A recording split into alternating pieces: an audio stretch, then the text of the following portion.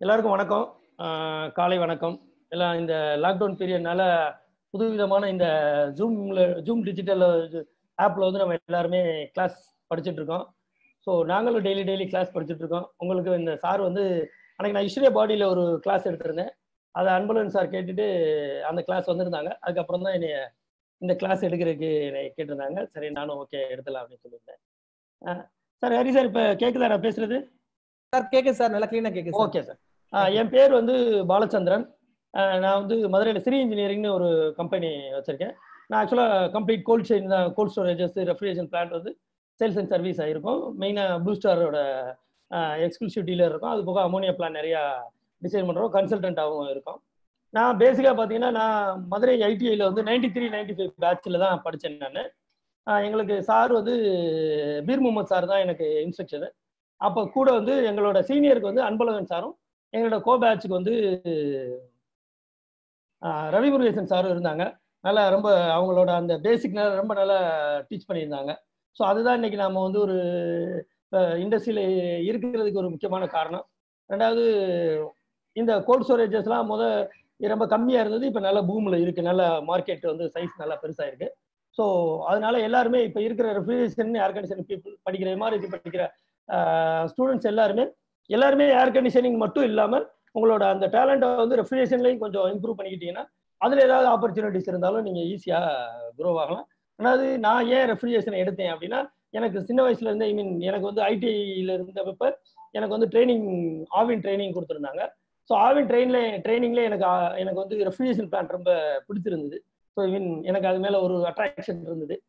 So நான் அப்போ இருந்தே ரெஃப்ரிஜரேஷனை செலக்ட் பண்ணி நான் ஒர்க் பண்ண கம்பெனி நான் மதுரையில் ஒரு கம்பெனியில் ஒர்க் பண்ணேன். பேசிக்காக ஒரு ஹெல்ப்பராக ஜாயின் பண்ணி அப்புறம் டெக்னீஷியன் ஆகி அங்கேயே சீனியர் டெக்னீஷியன் ஆகி அதுக்கப்புறம் அங்கேருந்து ஹைதராபாத்தில் ஒரு கம்பெனியில் ஒரு கன்சல்டிங் கம்பெனியில் போய் மேனேஜராக இருந்தேன். ஸோ அதுக்கப்புறம் தான் நான் ஒரு ரெண்டாயிரத்தி ஏழு மிடில் தான் நான் வந்து கம்பெனி ஆரம்பிச்சு இப்போ இங்கே ரன் பண்ணிட்டு இருக்கேன். நல்லா போயிட்டு இருக்கு பிஸ்னஸ் ஸோ எல்லாத்துக்கும் எனக்கு சொல்லிக் கொடுத்த சார் எல்லாத்துக்கும் நன்றி சொல்லிக்கிறேன். அன்பழகன் சார் அப்புறம் முருகேசன் சார் அப்புறம் பீர் முகமது சார் பீர் முகமது சார் இப்போ டேரக்டராக இருக்காங்கன்னு கேள்விப்பட்டேன். எல்லாத்துக்கும் நன்றி. ஓகே இப்போ நம்ம செஷனுக்கு போயிடலாம். நமக்கு இருக்கிறது ரொம்ப ஷார்ட் டைம் தான். ஸோ அதனால் நம்ம செஷனுக்கு போயிடலாம். பட் ஆனால் நான் என்ன சொல்ல வரேன்னா ஐடிஐ படிக்கிறவங்களுக்கு தான் அதிகமான என்டர்பிரினர்ஷிப் ஆப்பர்ச்சுனிட்டி இருக்குது நீங்கள் கம்பேர் தன் டிப்ளமோ படிக்கிறவங்களுக்கோ இன்ஜினியரிங் நான் அப்போலாம் நினச்சேன் நம்ம டிப்ளமோ படிச்சுக்கலாம் இன்ஜினியரிங் படிச்சுக்கலாம்னு பட் அப்படியெல்லாம் படிச்சிருந்தா கூட இந்த ஒரு பொசிஷனுக்கு வர முடியுமான்னு எனக்கு தெரியல. அவ்வளோ ஹேண்ட்ஸ் ஆன் ட்ரைனிங் கொடுத்துருந்தாங்க அது போக பார்த்தீங்கன்னா நிறைய நிறைய ட்ரைனிங்ஸ் நமக்கு எல்லாமே நம்ம ப்ராக்டிக்கலாக பண்றதுனால எனக்கு வந்து அடுத்தடுத்து சைட்ல போய் ஒர்க் பண்றதுக்கும் என்னோட என்ன சொல்றது ஒரு டிசைன் பண்றதுக்கு ஒரு எல்லா விதத்துக்கும் எனக்கு ரொம்ப யூஸ்ஃபுல்லா இருந்தது. நம்ம ஐடிஐல கொடுத்த அந்த பேசிக் ட்ரைனிங்ஸ் ரொம்ப பேசிக்கை வந்து ரொம்ப கிளியரா சொல்லி கொடுத்தாங்க. ஸோ என்னோட பேசிக்ஸ் எல்லாருமே எங்க இண்டஸ்ட்ரியில எல்லாரும் சொன்னாங்க பாலா வந்து பேசிக்ல ரொம்ப ஸ்ட்ரென்த்தா இருப்பாப்ல. பேசிக்ல ரொம்ப ஸ்ட்ரென்த்தா இருப்பாங்க ஸோ அதுதான் நம்ம சிஸ்டத்தோட அந்த பேசிக் ரெஃப்ரிஜரேஷன் சைக்கிளோட பேசிக் நல்லா தெரிஞ்சிருந்தோம்னா நம்ம அதை எப்படி வேணாலும் எந்த அப்ளிகேஷனுக்கு வேணாலும் மாடிஃபிகேஷன் பண்ணி நம்மளால ரன் பண்ண முடியும். ஸோ அதனால படிக்கிற ஸ்டூடெண்ட் எல்லாருமே படிப்புல நல்லா கவனம் செலுத்தி இப்ப சொல்றத நல்லா கேட்டு இதை வந்து நீங்க ஒவ்வொரு தடவையுமே உங்க விசுவலா அப்ளை பண்ணி பாருங்க. இப்ப நான் கிளாஸ் எடுக்கிறப்ப கூட நீங்க வந்து நான் சொல்ற உடனே நீங்க இமேஜ் பண்ணி பார்க்கணும். ஸோ அப்பதான் உங்களுக்கு வந்து அது நல்லா ரீச் ஆகும். நீங்க சும்மா லெசனா மட்டும் இதை பார்த்துட்டு போனோம்னா இருக்காது. ஒரு ஃப்ரிட்ஜ் அப்படின்னா நீங்க மனசுல ஒரு ஃப்ரிட்ஜை நினைக்கணும். அதுல இப்படி இருக்கும் இந்த கம்பார்ட்மெண்ட் இருக்கும் இப்படி இருக்கும் இந்த மாதிரி ஃப்ரீசர்ல வந்து நம்ம இப்படி பண்றோம் அப்படின்றப்ப நீங்க அதை விசுவல் பண்ணி பார்க்கணும். உங்களால முடிஞ்சா அதை ரீச் பண்ணி போய் பார்க்கணும். ரெண்டாவது ட்ரைனிங் நிறைய போங்க. நான்லாம் படிக்கையிலே பார்ட் டைமா ஈவினிங் வேலைக்கு போயிட்டு இருந்தேன். அப்புறம் இந்த மாதிரி ஆவின் மாதிரி ட்ரைனிங் போடுறப்ப மிஸ் பண்ணாம எல்லா நாளும் போய் அங்க ஒர்க் பண்ணி அங்க இருக்க இண்டஸ்ட்ரியல் பீப்புள்ஸோட கொலபரேட் ஆகி ஒர்க் பண்ணதுனால தான் இந்த இது வந்திருக்கு. சரி ஓகே நான் இன்னைக்கு செஷன் வந்து நம்ம என்னோட ஸ்ட்ராங் நான் வந்து கோல்ட் ஸ்டோரேஜில் தான் கொஞ்சம் ஸ்ட்ராங்கான ஆள். ஸோ அதனால ரெகுலராக கோல்ட் ஸ்டோரேஜை பற்றி எடுத்துலாம் chart cold storage basics and application அப்படின்ற டாபிக் தான் நம்ம இன்னைக்கு கவர் பண்ணுறோம் இது உங்களுக்கு லெஸ் இதுலேயும் இருக்குது ஸோ அதனால அந்த அதவே அதுவே நம்ம இன்னைக்கு என்னென்ன பார்க்க போகிறோம் அப்படின்னா முதல் கோல்ட் ரூம்னா என்ன? எவ்வளோ பேர் கோல்ட் ரூம் பார்த்துருக்கீங்க? எவ்வளோ பேர் கோல்ட் ரூம் ஒர்க் பண்ணியிருக்கீங்க ட்ரைனிங் போயிருக்கீங்க? தெரியல பட் எல்லாருக்குமான ஒரு ஃபர்ஸ்ட் இயர் ஸ்டூடெண்ட்டாக இருக்கட்டும் செகண்ட் இயர் முடிக்க போறவங்களா இருக்கட்டும் செகண்ட் இயர் முடிக்க போகிறவங்களுக்கு மோஸ்ட்லி தெரிஞ்சிருக்கும். ஸோ அதனால வந்து ஃபர்ஸ்ட் நம்ம வந்து அவுட்லைன் வந்து கோல்ட் ரூம்னா என்ன? அதுக்கப்புறம் அதோட பேசிக் டிசைன் எப்படி இருக்கும்? அப்புறம் டைப்ஸ் ஆஃப் கோல்ட் ஸ்டோரேஜஸ் என்ன என்னென்ன டைப்ஸ் கோல்டு ஸ்டோரேஜ் இருக்கு? அப்புறம் construction methods of cold storage cold ஸ்டோரேஜ்லாம் எப்படி கட்டுறாங்க? ஸோ அதுக்கப்புறம் என்னென்ன அப்ளிகேஷன்ல அதை யூஸ் பண்றாங்க? ஏன்னா இதெல்லாம் தெரிஞ்சாதான் நம்ம அடுத்த ஃபியூச்சர்ல வந்து நீங்க ஒரு ஜாப் சர்ச் பண்றப்பையோ ஒரு நல்ல கம்பெனி அப்படின்றத வந்து சரி இவங்க இந்த மாதிரி அப்ளிகேஷன்ல யூஸ் பண்றாங்க. ஸோ நமக்கு இங்கே நல்ல ஆப்பர்ச்சுனிட்டி இருக்கும். நம்ம இங்கே போனால் நல்லா ஒர்க் பண்ணலாம். அப்படின்ற மாதிரி இருக்கும். அப்புறம் அதில் யூஸ் பண்ணுற ரெஃப்ரிஜரண்ட் அதோட ப்ராப்பர்ட்டிஸ் ஸோ இந்த ரெஃப்ரிஜரண்ட் ப்ராப்பர்ட்டிஸ்க்கு டைம் இருக்கான்னு தெரியல. இருந்துன்னா கண்டிப்பாக அதையும் கவர் பண்ணிடலாம். ஓகே இப்போ நெக்ஸ்ட் லைட் போகலாம் சார் போகலாம்ல சார் சார் போலாம் sir okay what is cold storage cold ஸ்டோரேஜ்னா என்ன? அப்படிதான் a refrigerator room that is used for preservation of foodstuffs to retain the food value and flavor. ஒண்ணுமே இல்லை sir ஒரு பெரிய ஃப்ரிட்ஜ் சார்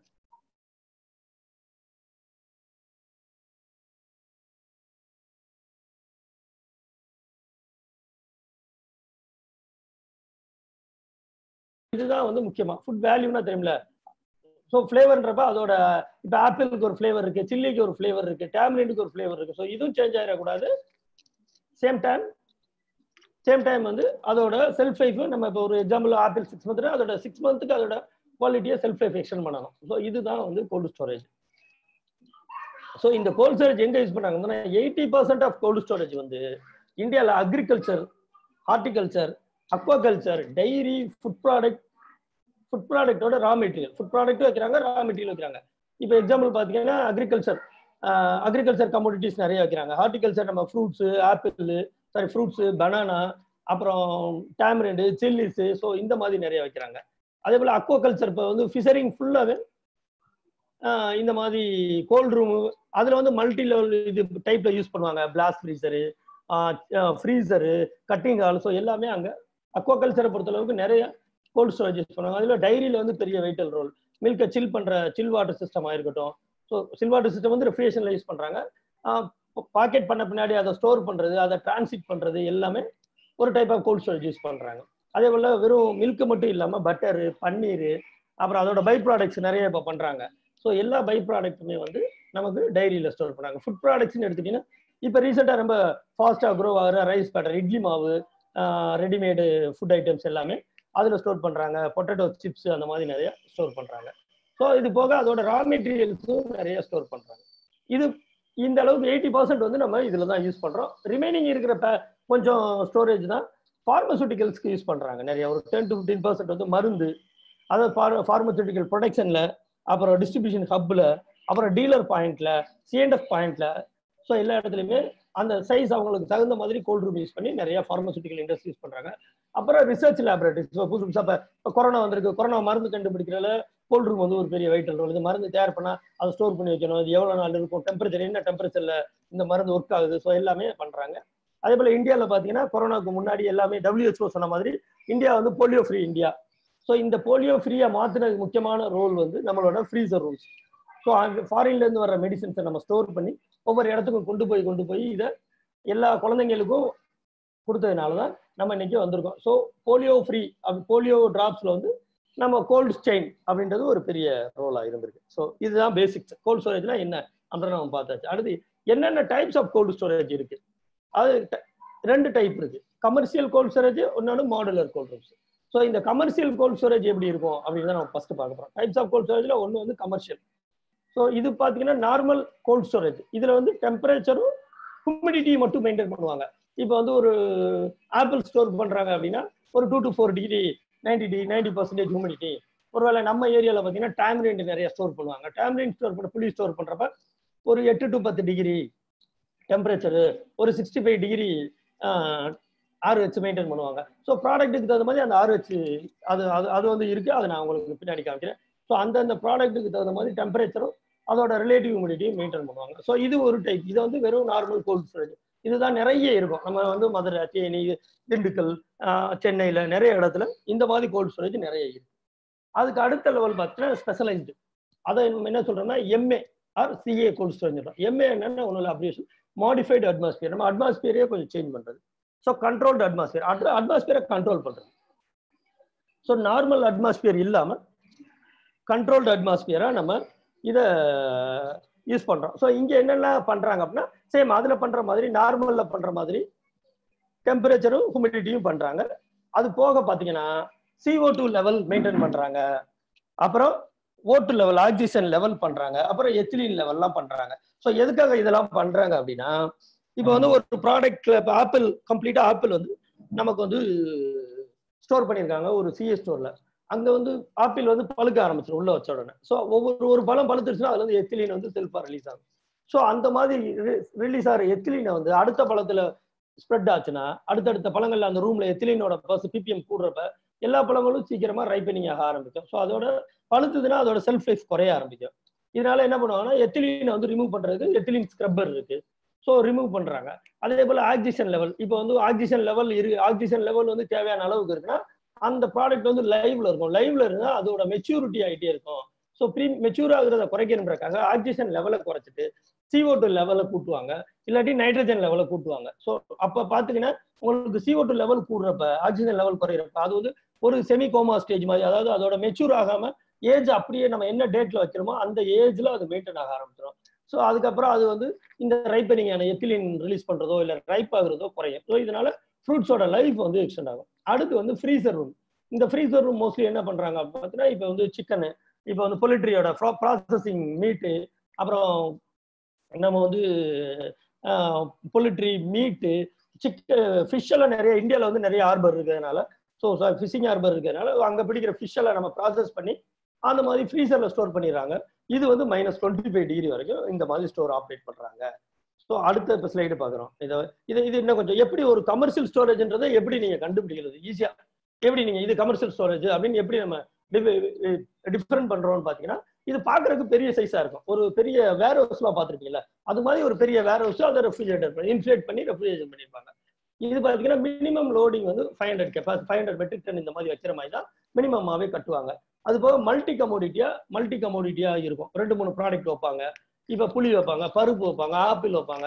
அதே போல ஃப்ரோசனாக இருந்தால் ஐஸ்கிரீம் வைப்பாங்க ஃபிஷ் வைப்பாங்க பொலிட்ரி மீட் வைப்பாங்க மீட் வைப்பாங்க பொலிட்ரி வைப்பாங்க இந்த மாதிரி வைப்பாங்க.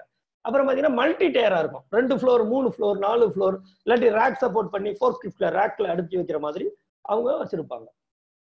இப்போ அடுத்து பார்த்தீங்கன்னா மல்டி டெம்பரேச்சர் ஸ்டோரேஜ் டெம்பரேச்சரும் அதே போல பார்த்தீங்கன்னா ஒரு ரெண்டு மூணு டிஃப்ரெண்ட் டெம்பரேச்சர் ஜோன் அதில் மெயின்டைன் பண்ணுற மாதிரி டிசைன் பண்ணியிருப்பாங்க. ஒரே மாதிரி கமோடிட்டியா இருக்குன்னா ஒரே டெம்பரேச்சர் பண்ணுவாங்க. இப்போ வந்து ஒரு பக்கம் ஆப்பிள் இருக்கு ஒரு பக்கம் டேம்ரின் இருக்கு அப்படின்னா இதுல six to eight degree maintain பண்ணுவாங்க. ஆப்பிளுக்கு டூ டு ஃபோர் டிகிரி இல்லை ஒன் டு த்ரீ டிகிரி அந்த மாதிரி மெயின்டைன் பண்ணுவாங்க. ஸோ இதெல்லாம் வச்சு நம்ம இதை ஈஸியாக கண்டுபிடிச்சிடலாம். ஸோ இது கமர்ஷியல் ஸ்டோரேஜ் இது போக பார்த்தீங்கன்னா ஓன் பர்பஸ்க்கு வச்சிருப்பாங்க. ரெண்ட்டுக்கும் நிறைய கொடுப்பாங்க. இந்த கமர்ஷியல் ஸ்டோரேஜ் மோஸ்ட்லி ரெண்ட்டுக்கும் கொடுப்பாங்க. ஸோ ரெண்டடா இப்போ ட்ரேடர் இருக்காரு அப்படின்னா ஒரு ஆப்பிள் ட்ரேடரோ டேம்ரின் ட்ரேடரோ ஒரு டர்மரிக் ட்ரேடரோ அவர் வந்து ஒரு ஐநூறு டன் இப்போ வந்து கிராப் டைம்ல வாங்குறாரு ஹார்வெஸ்டிங் டைம்ல வாங்கி அதை ஸ்டோர் பண்ணி வச்சுட்டு கொஞ்சம் கொஞ்சமாக எடுத்து வச்சுக்கலாம் ஸோ இப்போ உங்க ஃபேமிலியிலே யாராவது நீங்கள் இந்த மாதிரி பிஸ்னஸ்ல இருந்தால் கூட இந்த மாதிரி பண்ணுவாங்க.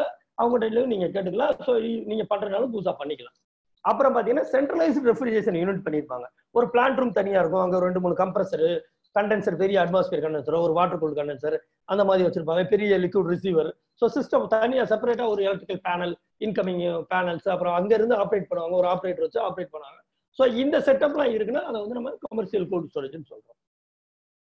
ஸோ அடுத்தது வந்து ரெண்டாவது டைப் பார்த்தீங்கன்னா modular cold room modular cold room அப்படின்னு என்னன்னு பார்த்தீங்கன்னா மாடுலர் கோல்ட் ரூம்ல வந்து நிறைய அதுல ஒரு டைப்ஸ் இருக்கு. இப்போ அங்கே எப்படி நம்ம பார்த்தோம்?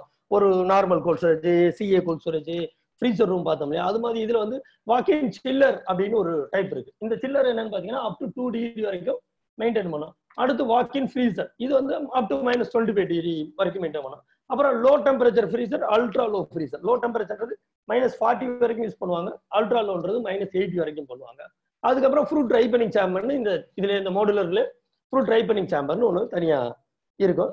ஸோ இந்த அல்ட்ரா லோ லோ டெம்பரேச்சர்ல ரொம்ப கம்மியான அப்ளிகேஷன் யூஸ் பண்றாங்க. இந்த வாக்கின் சில்லர் வாக்கின் ஃப்ரீஸ் எல்லாம் நிறைய யூஸ் பண்றாங்க. Dairy industry hotel industry so use பண்றாங்க. ரைப்பனிங் சாம்பர் வந்து அந்த ஒரு கிளஸ்டர் ரைப்பனிங் கிளஸ்டர் அந்த ஃப்ரூட் கிளஸ்டர் இப்போ சின்னமனூர் பார்த்தீங்கன்னா தமிழ்நாட்டில் வந்து அதிகமாக பனானா விளையிற இடம். ஸோ அங்கே பார்த்தீங்கன்னா நிறைய ரைப்பனிங் சாம்பர்ஸ் வச்சிருப்பாங்க. அதே போல் திண்டுக்கல் டிஸ்ட்ரிக்ட் பார்த்தீங்கன்னா நிறைய மேங்கோஸ் கிடைக்கிற இடம். அங்கே வந்து மேங்கோ ரைப்பனிங் சாம்பர்ஸ் நிறைய வச்சிருப்பாங்க. சின்ன சின்ன ட்ரேடர்ஸ் வந்து மேங்கோ வாங்கிட்டு போயோ இல்லை பனானா வாங்கிட்டு போய் அந்த ஸ்பாட்டில் கூட பண்ணி தர்றாங்க.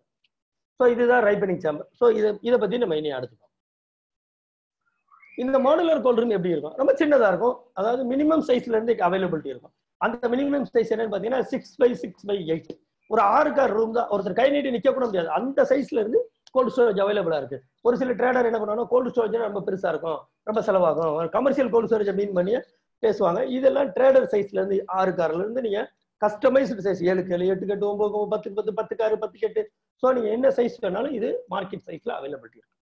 அதே போல இந்த ரூமை பொறுத்த அளவுக்கு மோஸ்ட்லி சிங்கிள் கமோடிட்டி தான் யூஸ் பண்ணுவாங்க. ஏன்னா சிங்கிள் டெம்பரேச்சர் ஜோன் தான் நம்ம யூஸ் பண்ண முடியுன்றதுனால என்ன ப்ராடக்ட் வைக்கிறாங்களோ அதுக்கு தகுந்த மாதிரி அதை டிசைன் பண்ணியிருப்பாங்க. நைன்டி பர்சன்ட் வந்து சிங்கிள் கமோடிட்டி தான் யூஸ் பண்ணுவாங்க.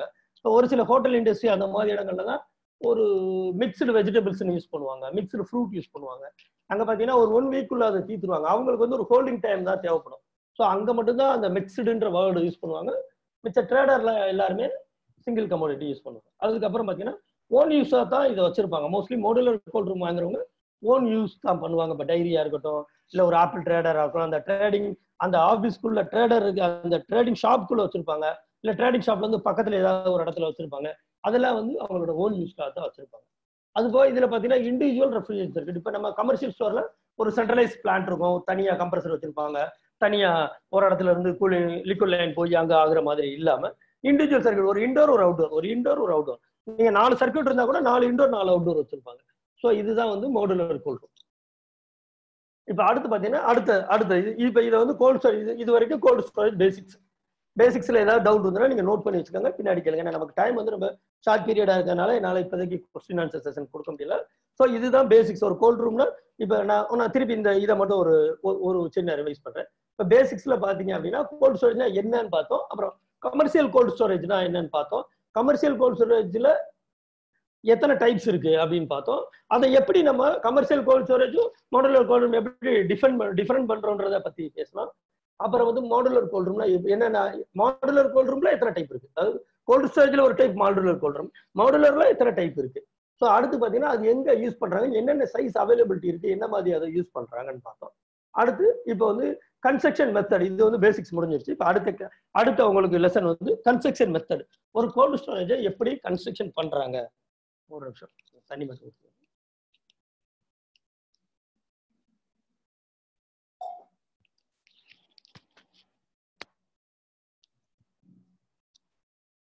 சார் சார் கேக்குதா?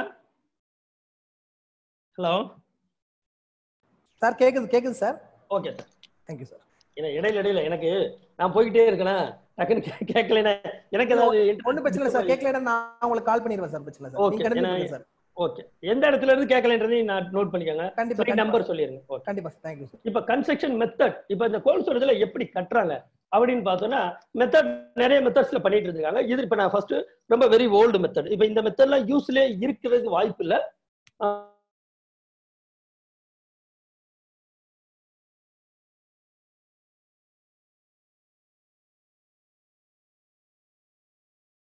ஒரு சுத்தி நாலு பக்கமே இதே மாதிரி கட்டுவாங்க. ஃபர்ஸ்ட் ஒரு இன்னர் வால் கட்டுவாங்க. நைன் இன்ச் வாலோ இல்லை டுவெல் இன்ச் வாலோ கட்டுவாங்க. அதுக்கப்புறம் ஒரு six inches eight inches gap போட்டு இன்னொரு வால் கட்டுவாங்க. இந்த ரெண்டு வாலுக்கு ந இந்த ரெண்டு வாலுக்கு நடுவுல நம்ம மரத்தூள் இருக்கு இல்லைங்களா? இதை ஃபில் பண்ணுவாங்க. இதெல்லாம் எப்பன்னா eight eighteen series eighteen hundred eighteen fifty eighteen forty நம்ம டூ தௌசண்ட் சாரி நம்ம நைன்டீன் ஃபிஃப்டி வரைக்கும் இந்த மாதிரி தான் கட்டிட்டு இருந்திருக்காங்க.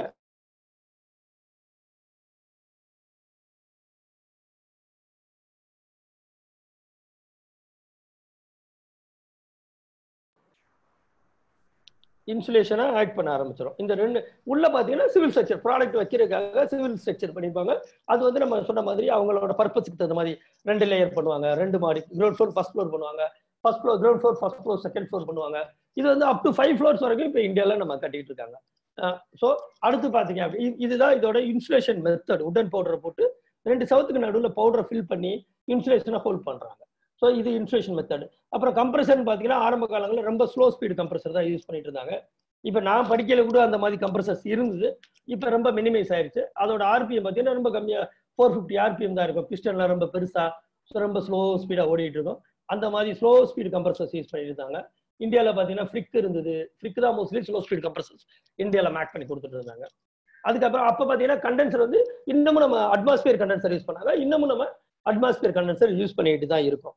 அப்புறம் எவாபரேட்டர் பார்த்தீங்கன்னா பங்கர் டைப் கூலிங் காயில் அப்படின்னு சொல்லுவாங்க. பங்கர் டைப் எவாபரேட்டர் அதாவது அப்போ வந்து எவாபரேட்டர் கன்ஸ்ட்ரக்ஷன் டிஃப்ரெண்டா இருக்கும். எப்படின்னா நம்ம இந்த கோல்டு ஸ்டோரேஜ் சுத்தி நாலு பக்கம் செவத்தாவில் இப்போ சவுத்து பக்கத்துல பைப்பு பைப்ல வந்து ரெஃப்ரிஜரேட்டர் ஃப்ளோ பண்ணுவாங்க. வெறும் பைப் இப்போ ரெண்டு இன்ச் பைப் எக்ஸாம்பிள் எடுத்துங்களேன் ஒரு ரெண்டு இன்ச் பைப் அப்படியே ரவுண்ட் ரவுண்டா எல்போ எல்போவா வச்சு பத்த வச்சு ரவுண்டா கொண்டு வந்துருவாங்க. கொண்டு வந்துட்டு அங்கங்க சீலிங் ஃபேன் போட்டுருவாங்க. நான் போட்டோ காமிக்கிறேன் அடுத்து. சீலிங் ஃபேன் போட்டுருவாங்க. அந்த சீலிங் ஃபேன்ல இருந்து இங்க வர்ற ரெஃப்ரிஜரண்ட் வந்து எவாபரேட் ஆகி அந்த ரூம்ல கூலிங் ஆகிட்டு இருக்கும். இதை பார்த்தீங்கன்னா இந்த டைப் எல்லாமே நார்த் இந்தியாவில் தான் பண்ணாங்க. நம்ம சவுத் இந்தியாவில் பண்ணலை. இது எல்லாமே பார்த்தீங்கன்னா அப்போ வந்து ஆரம்ப காலங்களில் பொட்டேட்டோ ஸ்டோர் பண்ண ஆரம்பிச்சாங்க. ஏன்னா நார்த் இந்தியாவில் பார்த்தீங்கன்னா நிறைய பொட்டேட்டோஸ் கன்சியூம் பண்ணுவாங்க. ஸோ அதனால பொட்டேட்டோ யூஸ் பண்ணுவாங்க இப்போ இதுதான் இந்த சைடு சைடு வால் இருக்கு. அந்த ரெண்டு வாலுக்கு நடுவில் பிளாக் கலர் மாதிரி அந்த இது ஃபில் பண்ணியிருப்பாங்க. இதுதான் floor ground floor first floor second floor third floor G plus three cold room இதுல பாத்தீங்கன்னா இந்த பங்கர் காயில் அவர் சைடில் போடுறது. இது நாலு சைடுமே வச்சிருப்பாங்க. இதே மாதிரி செஞ்சு நாலு சைடும் தனித்தனியா வச்சிருப்பாங்க. இதுக்கு மேல ஃபேனு சும்மா நம்ம சீலிங் ஃபேன் மாதிரி ஃபேன் ஓடுவாங்க. ஸோ அது மூலமா ஹீட் ட்ரான்ஸ்ஃபர் நடந்திருக்கு. இது இந்த கோல்ட் ஸ்டோரேஜ்லாம் இப்போ யூசேஜ்ல இல்லை. ஆனா பட் இதை தெரிஞ்சுக்கிறதுக்காக சொல்றேன். இப்போ அடுத்த டைப் ரெண்டாவது டைப் பாத்தீங்கன்னா பிரிக் வால் நம்ம சவர் கட்டிட்டு அது மேல தெர்மாக்குள் ஷீட்டை வந்து ஒட்டுவாங்க. நம்ம என்ன சொல்றது? கோல்டு பிட்டுமன் பிட்டுமன் சொல்லுவோம். நம்ம தார் மாதிரி இருக்கும். தார்லேயே கொஞ்சம் குவாலிட்டியான தார் இருக்கும். அதுவும் பெட்ரோலியமோட பை ப்ராடக்ட் தான். ஸோ அந்த கோல்டு பிட்டுமனை வந்து கொஞ்சம் வார்ம் ஹீட் பண்ணிட்டோம்னா அது லிக்யூடாக இருக்கும். ஸோ அதில் வந்து கம்ப்ளீட்டாக அந்த தெர்மோகோல் ஷீட் பார்த்தீங்கன்னா one metre by half metre available regular size அதில் வந்து ஃபுல்லாக அப்ளை பண்ணி இந்த சவத்தில் ஃபிக்ஸ் பண்ணுவாங்க.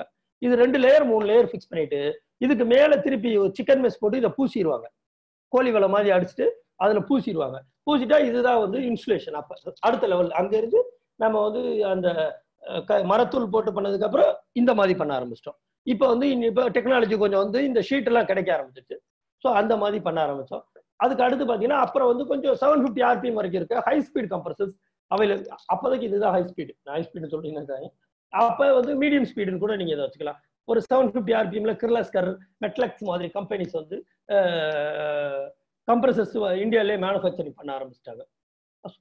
அப்போ பார்த்தீங்கன்னா நமக்கு அந்த reciprocating compressor open type reciprocating compressors வந்துருச்சு. அதே போல் ஃபேன் காயில் யூனிட்டும் அதுக்கப்புறம் இம்போர்ட் பண்ண ஆரம்பிச்சாங்க. அப்புறம் இந்தியாவிலே மேனுஃபேக்சரிங் ஆரம்பிச்சிட்டாங்க. ஸோ ஃபேன் காயில் யூனிட் வந்து ஒன்று சைடு த்ரோ இருக்கும் இல்லாட்டி வந்து டாப் த்ரோ இருக்கும். நீங்கள் அதை பார்த்தீங்கன்னா உங்களுக்கு தெரியும். டாப் த்ரோ இருக்கும். இப்போ இதில் இப்போ போட்டிருக்க பாருங்க. இது வந்து ground floor first floor second floor third floor same தான். அதே மாதிரி G plus three floors plus வந்து காயில் வந்து சைடு த்ரோ வச்சிருப்பேன். ஸோ இது இது இந்த மாதிரி டாப் ஃப்ளோரில் மாட்டி ஏர் சர்க்குலேட் பண்ண விடுவாங்க? என்டையராக அந்த த்ரோ ஏர் வந்து கீழே வரைக்கும் வந்துட்டு திருப்பி மேலே போகும். அது எவ்வளோ ஏர் வேல்யூம் வேணும் எவ்வளோ சர்க்குலேஷன் வேணும் கோல்ட் ஸ்டோரேஜ் லென்த்து அப்புறம் அதோட ஹைட்டை பேஸ் பண்ணி இதோட அந்த ஃபேனோட சைஸை வந்து டிசைன் பண்ணியிருப்போம் ஸோ அதுக்கு தகுந்த மாதிரி அது ஏர் சர்க்குலேட் பண்ணிட்டு இருக்கும் இதில் பொட்டேட்டோஸோ சில்லிஸோ டேமரினோ நீங்கள் எங்கே வேணாலும் அடுக்கி வச்சுட்டு நீங்கள் வந்து இதில் யூஸ் பண்ண ஆரம்பிக்கலாம். இப்படி தான் இருக்கும். சிவில் கோல்ட் ஸ்டோரேஜ்னு பார்த்தீங்கன்னா எல்லா பக்கமும் இது ஆந்திராவிலேருந்து ஒரு தெலுங்குல எழுதியிருக்காங்க என்னன்னு தெரில ஸோ இது மாதிரி தான் இருக்கும் கோல்ட் ஸ்டோரேஜ் பார்த்தீங்கன்னா. நீங்கள் இன்னமும் இந்தியாவில் சவுத்துல எல்லாம் நிறைய இந்த மாதிரி கோல்ட் ஸ்டோரேஜ் இன்னும் யூஸ் பண்ணிட்டு இருக்காங்க நிறைய இருக்கு. இது வந்து இப்போ உள்ள நாங்கள் ஃபோட்டோ காமிச்சல இதுதான் இன்னர் செக்ஷன் வச்சுக்கோங்களேன். இது வந்து கட் செக்ஷன் இது வந்து அதோட outside time outside photo so இங்கே அதே நான் ground floor first floor second floor third floor மேலே யூனிட் இருக்கும். ஸோ இங்கேருந்து லோடிங் பண்ணி இந்த டோரில் வழியாக லோடிங் பண்ணி அங்கங்கே வச்சுருவாங்க. அங்கே சிஸ்டமோட பின்னாடி பிளான்ட் ரூமும் வச்சுருப்பாங்க. இப்போ இதில் வந்து அடுத்த அடுத்த மெத்தட் இது வந்து மெத்தட் த்ரீ இதுதான் இப்போ நம்ம யூஸ் பண்ணிட்டு இருக்கோம். இது பார்த்தீங்கன்னா இந்த வால் பண்ணாமல் என்ன பண்ணிட்டோம் அப்படின்னா பேஸ்மெண்ட்டோட சிவில் ஒர்க்கை நிப்பாட்டிட்டு prefabricated EPS and PUF panel use பண்ண ஆரம்பிச்சிட்டோம். ஃப்ரீ ஃபேப்ரிகேட்டட்னா பேனல் வந்து அங்கேருந்து ரெடிமேடாக செஞ்சு ஃபேக்ட்ரியில இருந்து பெரிய கண்டெய்னர் லாரியில் வந்துடும் கண்டெய்னர் லாரியில எனக்கு பேனல்ஸ் வந்துடும் அதை தூக்கி நிப்பாட்டிட்டேன்னா முடிஞ்சிச்சு பேனல் வந்து இன்சுலேஷன் பண்ணி நம்ம சவர் கட்டி அதை பிளாஸ்டிக் பண்ணி அதில் இன்சுலேஷன் பண்ணி அதுக்கப்புறம் அ- அந்த மாதிரி பண்ணாம நம்ம டைரக்டா பேனல் ரெடிமேட் பேனல் வர ஆரம்பிச்சது. ஸோ ஈஸி டு கன்ஸ்ட்ரக்ஷன் நடந்தது. ரெண்டாவது தெர்மல் வேப்பர் பேரியர் அதாவது கூலிங் ரெசிஸ்டன்ஸ் வந்து கம்பேரிசன் நம்ம வந்து அந்த ஃபர்ஸ்ட் உடனை விட தெர்மோகுல் நல்லா இருந்தது. இப்போ தெர்மோகுலை விட இங்கே இபிஎஸ் வந்து இபிஎஸ் பஃப் பேனல் வந்தது. இபிஎஸ்ன்றது ஒன்றும் இல்லை எக்ஸ்பான்ஷன் பாலியூரத்தின் ஷீட் இது வந்து தெர்மோகுல் தான். பஃப்ன்றது பாலியூரத்தின் ஃபோம் ஸோ இந்த இபிஎஸ்ன்ற தெர்மோகுல் பஃப்ன்றது வந்து பாலியாயில் ஐசோசைனேட்ன்ற ரெண்டு கெமிக்கலோட காம்பவுண்ட் மிக்சிங் தான். இதுவும் பெட்ரோலியம் ப்ராடக்ட்ல இருந்து தான் வருது. இபிஎஸ்ஓட அந்த ரா மெட்டீரியலும் பெட்ரோலியம் ப்ராடக்ட்ல இருந்து தான் வருது. ஸோ அடுத்து பார்த்தீங்கன்னா கார்கேட்டட் ரூஃப் பேனல்ஸ் நமக்கு கிடைக்குது. ஸோ ரூஃப் பார்த்தீங்கன்னா முதல்ல சென்ட்ரிங் போட்டு அதுக்கப்புறம் ஃபிக்ஸ் பண்ணிட்டு இருந்தோம். இப்போ வந்து ரூஃபே வந்து ரூஃப் பேனலாகவே நமக்கு பேனலும் கிடைச்சிது ஸோ அதனால அதை ஈஸியாக நம்ம கன்ஸ்ட்ரக்ஷன் பண்ணிடுறோம். அதில் இன்சைட் ஸ்ட்ரக்சர் பார்த்தீங்கன்னா ஸ்டீல் ஸ்ட்ரக்சர் பண்ண ஆரம்பிக்கிறோம். இப்போ நிறைய சிவில்லையும் பண்ணுறாங்க இன்னர் ஸ்ட்ரக்சர் வந்து ஸ்டீல் ஸ்ட்ரக்சரும் பண்ணிடுறோம். அதே போல் அதுக்கப்புறம் இப்போ வந்து ஹை ஸ்பீட் ரெசிபிகேட்டிங் கம்ப்ரஸர் அதாவது இப்போ ஃபோர்டீன் ஃபார்ட்டி ஆர்பி ஓட மாதிரி இப்போ மைகாம் ஃப்ராஸ் கோல்டு மாதிரி கம்ப்ரஸர்ஸ் வந்து இப்போ இந்தியாவிலே கிடைக்க ஆரம்பிச்சிச்சு ஸோ நிறைய high speed reciprocating compressor use பண்ணுறோம் மைகாம் கம்ப்ரஸரில் அவங்க என்ன ரெக்கமெண்ட் பண்ணுறாங்கன்னா up to six thousand RPM வரைக்கும் நீங்கள் ரன் பண்ணலாம்னு சொல்கிறாங்க பட் நாங்கள் வந்து இப்போ thousand five hundred RPM thousand fourteen forty வரைக்கும் ரெகுலராக கப்புள்டு டைப்ல ரன் பண்ணுறோம் அதே போல் ஸ்க்ரூ கம்ப்ரஸர்ஸும் இப்போ நிறைய கிடைக்க ஆரம்பிச்சிச்சு ஹையர் கெப்பாசிட்டி வரப்ப பெரிய கோல்ட் ஸ்டோரேஜ்லாம் போடுறப்ப சின்ன பிளான்ட் சின்ன மிஷின் ஆக்கி ஸ்க்ரூ கம்ப்ரஸர் பண்ண ஆரம்பிச்சிட்டோம். அதே போல் கண்டென்சர் பார்த்தீங்கன்னா அட்மாஸ்பியர் கண்டென்சரும் இன்னும் யூஸ் பண்ணுறோம் இடத்துக்கு தகுந்த மாதிரி அதை செலக்ட் பண்ணுறோம் இப்போ வாட்டர் சால்ட்டாக இருக்கு.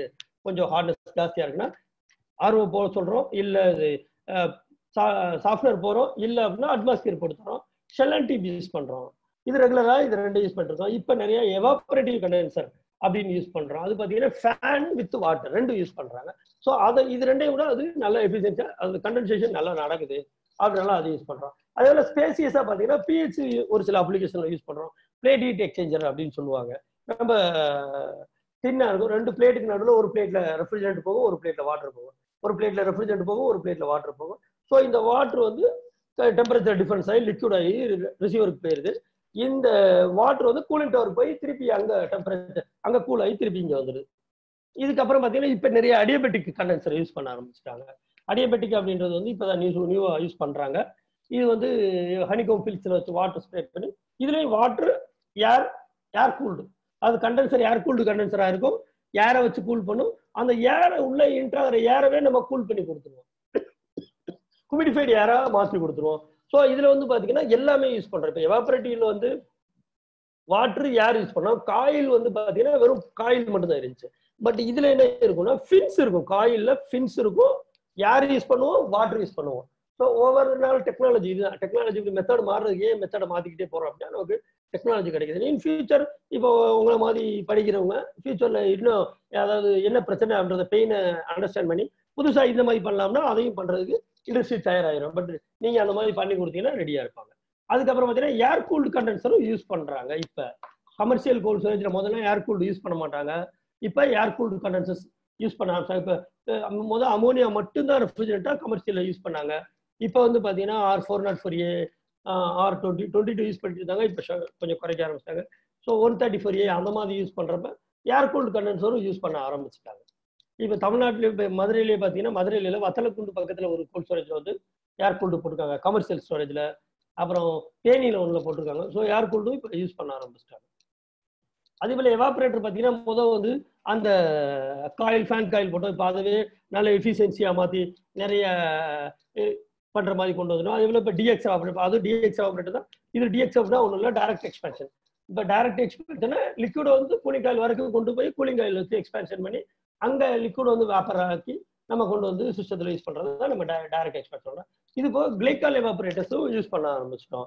கீழே வந்து ஒரு பிஹெச் டைப் கூலிங் காயில் வச்சுட்டு அதில் பிஹெச்சில் ரெஃப்ரிஜரேட்டையும் கிளைக்காலையும் சைக்கிளிங் பண்ணி கிளைக்கால ஒரு டேங்க்ல கலெக்ட் பண்ணி அங்கேருந்து ஒரு பம்ப் மூலமாக கூலிங் காயிலுக்கு வந்து கிளைக்கால் அனுப்புறது. ஸோ இப்போ அம்மோனியா மாதிரி வந்து லீக் ஆயிடுச்சு அப்படின்னு ஒரு சிலருக்கு வந்து ஒரு சில பயங்கள் இருந்தது. அது போல் ஒரு சில ஏரியாங்களில் பவர் ஷட்டோ நிறைய இருக்குது ரன் பண்ணுற நேரத்தில் பவர் இல்லை அப்படின்னு நினைக்கிறவங்க வந்து ஸ்டாண்ட் பை சரியா இல்லை இல்லாட்டி ஸ்டாண்ட் பை யூஸ் பண்ண விரும்பல அப்படின்னு நினைக்கிறவங்க அந்த மாதிரி கிளைக்கால் சிஸ்டம் போகிறாங்க கரண்ட் இருக்கிறப்ப ரன் பண்ணி வச்சுக்கலாம். கரண்ட் இல்லாதப்ப இந்த பம்பை மட்டும் ஜெனரேட்டரில் ரன் பண்ணி நம்ம வந்து சிஸ்டத்தை ரன் பண்ணிக்கலாம். அதே போல் எக்ஸ்பேன்ஷன் வால் பார்த்தீங்கன்னா ஃபஸ்ட்டு ஹேண்ட் ஆப்ரேட்டர் மட்டும் தான் யூஸ் பண்ணிட்டு இருந்தோம். இப்போ தெர்மஸ்டாட்டிக் எக்ஸ்பென்ஷன் வால் யூஸ் பண்ணிட்டோம். தென் நெக்ஸ்ட் லெவல் பார்த்தீங்கன்னா இப்போ எலக்ட்ரானிக் எக்ஸ்பென்ஷன் வால் ரொம்ப அக்யூரஸியாக ஒர்க் பண்ணுது. அதுக்கு கண்ட்ரோலெல்லாம் வச்சு அந்த ரெஃப்ரிஜரண்ட்லேயே டெம்பரேச்சரை மெஷர் பண்ணுது. ஸோ நம்மளாம் ஒரு தெர்மல் பல்புலையோ இல்லை ஹேண்ட் ஆப்ரேட்டர்ன்றது டிபெண்டிங் அப்போ நம்மளோட செக்ஷனை பொறுத்து நம்ம இங்கே நம்மளே மேனுவலாக அட்ஜஸ்ட் பண்ணுறோம் தெர்மோஸ்டாட்டிக் எக்ஸ்பென்ஸ் சொல்றது சக்ஷன் டெம்பரேச்சரை பேஸ் பண்ணியும் எக்கட எக்ஸ்டர்னல் யூட்டிலைசர் கொடுத்துருந்தீங்க அப்படின்னா அந்த சக்ஷன் ப்ரெஷரை பேஸ் பண்ணி ஒர்க் பண்ண ஆரம்பிச்சிச்சு. பட் இப்போ எலக்ட்ரானிக் எக்ஸ்பேன்ஷன் வால்வ்ன்றது இது எல்லாரையும் மீறி அந்த லிக்யூடோட டெம்பரேச்சர் லிக்யூட் எக்ஸ்பான்ஷன் ஆகிற டெம்பரேச்சர் பேஸ் பண்ணி ஒர்க் பண்ண ஆரம்பிக்குது. ஸோ எலக்ட்ரானிக் எக்ஸ்பான்ஷன் வால்வும் இப்போ யூஸ் பண்ண ஆரம்பிச்சிட்டோம். இதுதான் வந்து இந்த டைப்பான கூல் ஸ்டோரேஜ் ஆ இப்போ இதுதான் வந்து பேனல் ஸோ இது ரெண்டு ஸ்கின் இருக்கு பார்த்தீங்களா இது வந்து மெட்டல் ஸ்கின்னு இதுக்கு நடுவில் ஃபோம் இருக்கு பாருங்க. இதுதான் கோல்ட் ஸ்டோரேஜ் இன்சுலேஷனுக்கு யூஸ் பண்ணுறோம் இதுதான் இந்த சைடில் நாலு சைடு சீலிங் எல்லாத்துக்கும் யூஸ் பண்ணுறோம் இது ரேக் சப்போர்ட்டடு இது பார்த்தீங்கன்னா இதுக்குள்ள ஃபோர் கிஃப்ட் உள்ள போய் அந்தந்த ஒரு ரேக்லையும் மெட்டீரியல் தூக்கி வச்சுட்டு வந்துடும் இதை நம்ம ஃப்ளோர் டைப்பாகவும் பண்ணிக்கலாம். அந்த ஸ்ட்ரக்சர் ஸ்டீல்லையும் பண்ணலாம். நம்ம வந்து சிவில்லையும் ஸ்ட்ரக்சர் பண்ணிக்கலாம். ஸோ இதுதான் வந்து பேனல் இப்போ இந்த டங்கன் குரு இருக்கு பாருங்க. அடுத்த பேனல் இந்த இந்த சைடு பேனல் வந்து இந்த சைடு மேட்ச் ஆகும். மேல் ஃபீமேல் மாதிரி இருக்கும். டங்கு குரு டங்கன் குருவில் ரெண்டு ஒன்னோட ஒன்று மேட்ச் ஆகும் இதுதான் வந்து ரெண்டு ரெண்டு ஷீட்டு ரெண்டு ஷீட்டுக்கு நடுவில் ஃபோம் இருக்கு பாருங்க. இது வந்து சாண்ட்விச்சாகவும் கிடைக்குது கண்டினியூஸாகவும் கிடைக்குது. இதுதான் அந்த நான் சொன்ன ரூஃப் பேனல் இது ரூஃப் வந்து அந்த பார்த்தீங்கன்னா கிளாமெட்டாகவே கிடந்தது. முதல்ல ஃப்ளாட் பேனல் தான் முதல் இந்த மாதிரி ஃப்ளாட் பேனல் தான் ரூஃபுக்கு யூஸ் பண்ணோம். அப்போ வந்து நமக்கு வாட்டர் லீக்கேஜஸ் கொஞ்சம் டிஸ்டர்பன்ஸ் இருந்தது. ஸோ அதுக்காக இப்போ என்ன பண்ணிட்டோம் அப்படின்னா கிளாமெட் பேனல் வாங்க ஆரம்பிச்சிட்டோம். ஸோ இதில் வந்து வாட்டர் லீக்கேஜ்ன்றதே இல்லை. ஏன் பேனல் பண்ணாங்க? அந்த ரெண்டு இன்சூரன்ஸ் வந்து ஏன் பேனல் பண்ணாங்கன்னா இந்த பேனல்ஸ் வந்து ஹை தெர்மல் ரெசிஸ்டன்ஸ் நான் சொன்ன மாதிரி தெர்மல் ரெசிஸ்டன்ஸ் டெம்பரேச்சர் நம்ம இருக்கும். மெக்கானிக்கல் ரெசிஸ்டன்ஸ் டைமென்ஷனல் ஸ்டெபிலிட்டி நீங்கள் வந்து பன்னெண்டு மீட்டர் வரைக்கும் சிங்கிள் பேனல் யூஸ் பண்ணலாம். பன்னெண்டு மீட்டர் இந்தியாவில் வந்து பதினஞ்சு வரைக்கும் கொடுக்குறாங்க. பதினஞ்சு வரைக்கும் கூட நம்ம யூஸ் பண்ணலாம். நான் வாட்டர் அப்சர்வ் அவ்வளோ சீக்கிரமாக ரொம்ப வாட்டர் அப்சர்வ் பண்ணுற கெப்பாசிட்டி வந்து ரொம்ப கம்மி. நீங்கள் வந்து ஒரு ஓப்பனில் இருக்கிற ஒரு தெர்மல் கூல் வந்து ஃபியூச்சரில் அந்த செவரில் ரொம்ப ஹெவியாக ரெயின் வந்து அந்த செவர் ஃபுல்லாக நனைஞ்சிருச்சுன்னா உள்ளே இருக்க தெர்மாக்கோலும் எஃபெக்ட் பண்ண ஆரம்பிக்கும். தெர்மாக்கோல் வெயிட் குடிச்சுன்னா அது திரிச்சு விழுக ஆரம்பிச்சிடும் அதே சேம் தான் ரூஃபில் ரூஃபில் எங்கேயாவது இப்போ ரூஃப் போட்டு நம்ம ஆர்சிசி ரூஃப் பண்ணிட்டு அது மேலே தெர்மாக்கூல் ஃபிக்ஸ் பண்ணியிருக்கோம். ஆனால் வாட்டர் எங்கேயாவது ட்ரெயின் ஆகி உள்ளே வருது அப்படின்னா அந்த இடத்துல வந்து அப்படியே உள்ள ஸ்ப்ரெட் ஆக ஆரம்பிக்கும் வாட்டர் ஸ்ப்ரெட் ஆன வாட்டர் என்ன ஆகும் அப்படியே அதில் இருக்க அந்த இதோட தன்மை தெர்மாக்குள்ள உறிஞ்ச ஆரம்பிச்சோன்னா தெர்மாக்குள்ளோட வெயிட் கூட்டணுன்னா அந்த ஃபிக்ஸ் பண்ணியிருப்போம் இல்லையா? பசை வந்து லூஸ் ஆகி அந்த சீலிங் அப்படியே டொப்புன்னு கீழே விழுந்துரும். இல்லாட்டி அந்த எந்த ஏரியா நனைஞ்சிருக்கோ அங்கே மட்டும் டேமேஜ் ஆயிரும். இதை உடனே கண்டுபிடிக்காட்டி அது மூலமாக நிறைய கூலிங் லாஸ் இருக்கும். ஸோ அதெல்லாம் இல்லாமல் நம்ம இதில் அவாய்ட் பண்ணலாம். அதே போல் இது வந்து எரக்ஷன் பண்ணுறது லைட் வெயிட் நான் பின்னாடி ஒரு ஃபோட்டோ காமிக்கிறேன். எவ்வளோ ஈஸியாக ஒரு நாலு பேர் வந்து பன்னெண்டு மீட்டர் பேனில் தூக்கி எரக்ஷன் பண்ணிடலாம். அதே போல் அத்தட்டிக் ப்ளஸ்ஸிங் அப்பியரன்ஸ் வெளியிலேருந்து பார்க்கையில ஒரு ரொம்ப லாங் ஷார்ட்டில் பார்க்கறதுக்கும் அப்பியரன்ஸ் நல்லா இருக்கும். அதே போல் மெயின்டெனன்ஸ் வந்து ஒரு டுவெண்ட்டி இயர்ஸ்க்கு வந்து பெருசாக நம்ம இதை பெயிண்ட் பண்ண தேவையில்லை. ஸோ இதுதான் அந்த உள்ள கொடுக்குற ஸ்டீல் ஸ்ட்ரக்சர் பண்ண சொன்னேன் இப்போ இவங்க வந்து ஸ்ட்ரக்சர் உள்ள வந்து ரேக் சப்போர்ட் பண்ணியிருக்காங்க. இப்போ இந்த மாதிரி ஸ்டீல் ஸ்ட்ரக்சரும் பண்ணிக்கலாம் ஸ்டீல் ஸ்ட்ரக்சரும் நீங்கள் பண்ணிக்கலாம். இப்போ இது பார்த்தீங்கன்னா ground floor first floor second floor third floor இப்போ ஆப்போசிட்ல பார்த்தீங்கன்னா ரூஃப் பண்ணிட்டு இருக்காங்க. இது சைட் ஒர்க் நடந்துட்டு இருக்கையில் எடுத்த ஃபோட்டோ சைட் ஒர்க் நடந்துட்டு இருக்கையில் எடுத்த ஃபோட்டோ இது நம்மளோட சைடு தான். இது சென்னையில் பண்ணியிருந்தோம். ஸோ கீழே பேனல்ஸ் எல்லாம் இறக்கி வச்சிருக்காங்க பாருங்க. ஒவ்வொரு பேனலுமே twelve metre twelve point five metres லென்த்ல panels வந்து ரெடிமேடாக இந்த மாதிரி கிடச்சிருது. பாருங்க அங்கே இறக்கி வச்சிருப்போம். இப்ப இப்ப வந்து பாத்தீங்கன்னா அந்த பேனல் இறக்கணும் பாத்தீங்கன்னா அந்த இடத்துல ஒரு அஞ்சாறு பேர் தான் இருக்கிறாங்க. கீழே நாலு பேர் தான் அதை எடுத்து கொடுத்து அதை வந்து லிஃப்ட் பண்ணி அந்த ஸ்ட்ரக்சரோட கனெக்ட் பண்றாங்க பாருங்க. கோல் டைப்லயோ லாக் டைப்லயோ அதை கனெக்ட் பண்ணுவாங்க. இப்போ இதுதான் எலெக்ஷன் நடந்துட்டு இருக்கு. இப்போ இது கிட்டத்தட்ட twelve point two m twelve point one metre height அதை ஈஸியாக நாலு பேர் எலெக்ஷன் பண்ணுறாங்க ஸோ இதுதான் வந்து இந்த ஃப்ளோரிங்லாம் பார்த்தீங்கன்னா இப்போ அந்த கோல்ட் ஸ்டோரேஜோட ஃபோட்டோ தான் இது. நம்ம எங்கே இங்கே ஸ்ட்ரக்சர் பார்த்துருக்கோம்ல இந்த கோல்டு ஸ்டோரேஜ் வந்து நம்ம பேனல் எலெக்ஷன் பண்ணுறோம் ஸ்ட்ரக்சர் பண்ணி பேனல் எலெக்ஷன் பண்ணோம். அடுத்து நம்ம தான் ரெஃப்ரிஜரேஷனும் அங்கே பண்ணி கொடுத்தோம் ஸோ இதுதான் அந்த நான் சொல்கிற அந்த evaporator DX evaporator coils so இங்கே வந்து இவங்க வந்து பல்ஸ் பல்சஸ் ஸ்கேடரு இவங்க ஒரு ஏழாயிரம் டன் பருப்பு வச்சுருக்காங்க. ஸோ அந்த கீழே வந்து ஸ்டீல் ஸ்ட்ரக்சர் பார்த்தீங்களா? அதில் வந்து பருப்பு பருப்பு ஸ்டோர் பண்ணியிருக்காங்க. அந்த ஃபேன் த்ரோ மூலமாக இது வந்து பண்ணுறாங்க இந்த மாதிரி தான் நம்ம லோடிங் பண்ணும். ஃபேன் இருக்க இடத்துல கொஞ்சம் கம்மியாகும். ஃபேன் இல்லாத இடத்துல ஹைட் ஜாஸ்தியாக போட்டுருப்பாங்க. பட் இவ்வளோ ஹைட் போடக்கூடாது. ட்ரேடர் வந்து என்னன்னாலும் என்டிசர் வந்து அவங்க அதை நம்ம என்ன சொன்னாலும் கேட்க மாட்டாங்க. அதை எஜுகேட் பண்ணிக்கிட்டே இருக்கணும். இங்கே பார்த்தீங்கன்னா ரூஃப்லையும் பேனல் பேனல் போட்டிருப்போம். பேனல் தெரியுது. இது பார்த்தீங்கன்னா இது வந்து freezer room frozen frozen storage frozen ஸ்டோரேஜில் என்ன பண்ணுவோம்னா இப்போ அதை பார்த்தீங்கன்னா உங்களுக்கு வந்து எக்ஸ்டர்னல் ரூஃப் பண்ணியிருப்போம். ரூஃபே ஓப்பனாக வெளியில் இருக்கிற மாதிரி இருக்கும். பட் ஃப்ரோசன் வந்து அந்த மாதிரி பண்ணக்கூடாது. மேலே வந்து ஒரு சூப்பர் ரூஃப் பண்ணி உள்ள ஃப்ளாட்டாக நம்ம வந்து பண்ணணும். ஏன்னா இதோட டெம்பரேச்சர் டிஃப்ரென்ஸ் ஜாஸ்தினால நம்ம டேரெக்டாக ரூஃப் பண்ணக்கூடாது. ஸோ அதனால இந்த மாதிரி பண்ணியிருக்கோம். இதோட இன்டர்னல் பார்த்தீங்கன்னா இப்படி இருக்கும். இந்த இருக்கு பாருங்க. இதில் வந்து ரேக் வச்சிருப்பாங்க. ஏன்னா நம்ம ஃப்ரோசன் ரூம்ல வந்து ரொம்ப நேரம் நின்று ஒர்க் பண்ண முடியாது. ஃப்ரோசன்ல வந்து கமர்ஷியல் ஸ்டோர் பண்றாங்க அப்படின்னு நீங்க எடுத்துக்கிட்டீங்கன்னா கண்டிப்பா இந்த மாதிரி ரேக் சப்போர்ட் பண்ணிட்டீங்கன்னா இதுல வச்ச பொருளை வந்து அந்த ஃபோர் ஷிஃப்ட் ஆப்ரேட் பண்ணி ஆப்ரேட்டர் வந்து டக்குன்னு எடுத்துட்டு உடனே ஒரு வித்தின் ஃபைவ் மினிட்ஸ் டூ மினிட்ஸ்ல வெளியில போயிடுவாரு. அவர் ஜாக்கெட் அந்த மாதிரி போட்டிருப்பாரு.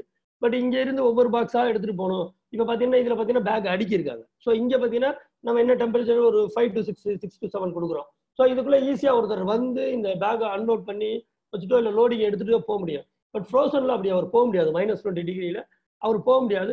ஸோ அதனால வந்து இந்த மாதிரி பண்ணியிருக்காங்க. ஸோ அதனால தான் இந்த மாதிரி பண்றோம். ஃப்ரோசனை பொறுத்தளவுக்கு மோஸ்ட்லி இப்படி தான் பண்ணுவாங்க.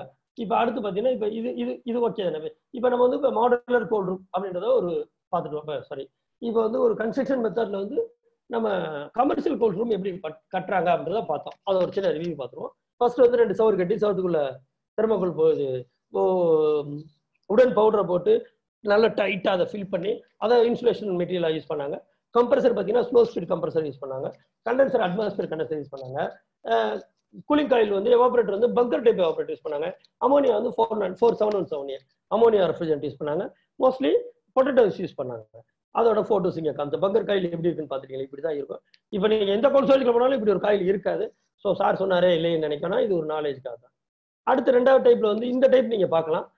தெர்மாகோல் பிரிக் வால் பண்ணியிருப்பாங்க. பிரிக் வாலில் தெர்மாகோல் ஒட்டியிருப்பாங்க. தெர்மாகோல் மேலே பிளாஸ்டிக் பண்ணியிருப்பாங்க. கம்ப்ரஸர் வந்து இப்போ கிர்லாஸ்கர் மாதிரி கம்ப்ரஸர் யூஸ் பண்ணியிருப்பாங்க. அப்புறம் பார்த்தீங்கன்னா அட்மாஸ்பியர் கண்டென்சர் இல்லாட்டி செலன் டியூப் கண்டென்சரும் யூஸ் பண்ணியிருப்பாங்க. அது இது வந்து இந்த மாதிரி தான் இருக்கும். ஸோ இப்போ அந்த அந்த ஃபோட்டோஸ் பார்த்தாச்சு. இப்போ அடுத்து பார்த்தீங்கன்னா இதுதான் கொஞ்சம் இன்னைக்கு யூஸ் பண்ணுறேன் இன்னைக்கு மோஸ்ட் ஆஃப் த கோர்ஸ் இன்னைக்கு இப்போ ஸ்டார்ட் பண்ணி இப்போ ஒரு டென் இயர்ஸாக பண்ணுற எல்லா கோல் இந்த மாதிரி தான் பண்ணுறாங்க ஏன்னா ஈஸி டு கன்ஸ்ட்ரக்ஷன் ரெண்டாவது ஃபாஸ்ட்டாக பண்ணிடலாம் எக்ஸ்பான்ஷன் பண்ணுறது ஈஸி ஸோ அதனால இந்த மாதிரி டைப் போகிறாங்க இது பார்த்தீங்கன்னா ஃப்ரீ ஃபேப்ரிகேட்டட் பேனல்ஸ் யூஸ் பண்ணுறோம் ஸ்டீல் ஸ்ட்ரக்சர் யூஸ் பண்ணுறோம் அப்புறம் பார்த்தீங்கன்னா high speed compressor reciprocating screw use பண்ணுறோம் different types of condensers use பண்ணுறோம் எவாபரேட்டர் காயில் வந்து டிஎக்ஸ் பண்ணுறோம் ஈவன் கிளைக்கால் வேணாலும் கிளைக்கால் பண்ணுறோம் ஹேண்ட் ஆப்ரேட்டட் எக்ஸ்பான்ஷனால் பண்ணிட்டு இருந்தோம். இப்போ தெர்மோஸ்டாட்டிக் எக்ஸ்பான்ஷனால் எலக்ட்ரானிக் எக்ஸ்பான்ஷனால் யூஸ் பண்ண ஆரம்பிச்சிட்டோம். இதான் ரேக் சப்போர்ட்டடு ஸோ அந்த பேனல்ஸ் எல்லாம் எப்படி இருக்கு? இது வந்து அப் டு ஃபிஃப்டீன் மீட்டர் வரைக்கும் சிங்கிள் லென்த் கிடைக்குது. ஸோ சீலிங் பேனல் சேம் தான் இதுவும் அப் டு ஃபிஃப்டீன் மீட்டர் வரைக்கும் சிங்கிள் லென்த் கிடைக்குது. அந்த ஸ்ட்ரக்சர் எப்படி இருக்கு அப்படின்றது காமிக்கிறோம். பேனல் எந்த மாதிரி இறக்கியிருக்காங்க? இங்க வந்து பேனல் எரெக்ஷன் ஃபோட்டோ பார்க்குறீங்க. இப்படி ஈஸியாக நாலு பேர் ஈஸியாக இதை ஹேண்டில் பண்ணி இதை பண்ணிடுறாங்க. ஸோ இதை வந்து எப்படி உள்ள லோடிங் அன்லோடிங் பண்ணுறாங்க அந்த எவாபரேட்டர் ஃபோட்டோ சீலிங் ரூஃப் வந்து ஓப்பன் ரூஃப் பண்ணியிருக்கோம் இப்போ இது வந்து ஃப்ரோசன் ஸ்டோரேஜ் இதுக்கு வந்து நம்ம ஏன் பண்ணலை அப்படின்றதையும் நம்ம சொல்லியிருக்கோம். டைரெக்டாக பண்ணக்கூடாதுன்றது நம்ம இங்கே மீன் பண்ணி சொல்லியிருக்கோம். அடுத்து இதுதான் ஃப்ரோசன் ஸ்டோரேஜ் இங்கே ஃப்ரோசன் ஃபுட்ஸ் யூஸ் பண்ணியிருக்காங்க. இப்போ இது வந்து ஒரு டைப் இப்போ ரெண்டாவது டைப் கோல்ட் ஸ்டோரேஜ் பார்த்தீங்கன்னா